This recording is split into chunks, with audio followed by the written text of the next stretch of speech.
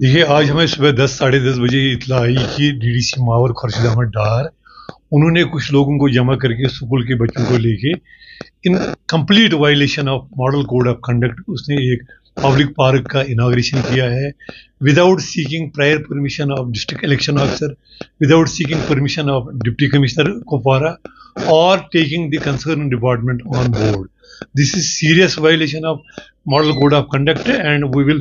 will have slashed notes upon the TDC member to explain as to why action under rules may not be initiated to him against him and हमने ECI Election Commission of India को Chief Electoral Officer Jammu and Kashmir को copy की है copy to returning officer Baramulla to constituency parliament Lok Sabha Over district election officer ko. So this will be dealt very seriously and action against rulers shall be uh, initiated against the ddc member for violation of the rules for arrogating the powers and sidelining the district administration. In the model code of conduct we have to play, and give equal uh, playing field to all the political parties. Maybe he is a political or a political person but he's a public representative. He cannot step into the shoes of a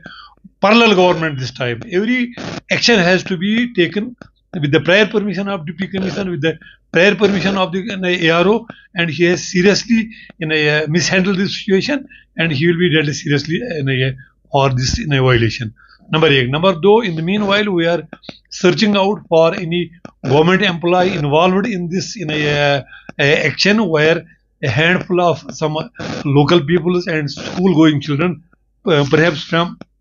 government girls middle school in a uh, Mawar Maradgram, which is nearby, and they have brought students from there and inaugurated that on a children park. So this will not be a, uh, tolerated at all, and he has to be accountable for this violation. District election officer has taken the serious notice of it. We are conveying it to one and all, and action against law shall be initiated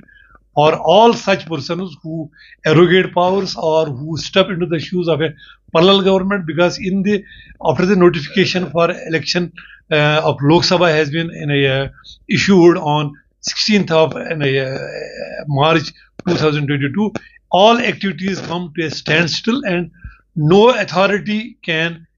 inaugurate or in a uh, kickstart any project without the prior consent of Election Commission of India or for that matter Chief Electoral Officer of the state or District Election Officer. So we have taken cognizance of it and we inform and alarm all the political uh, parties that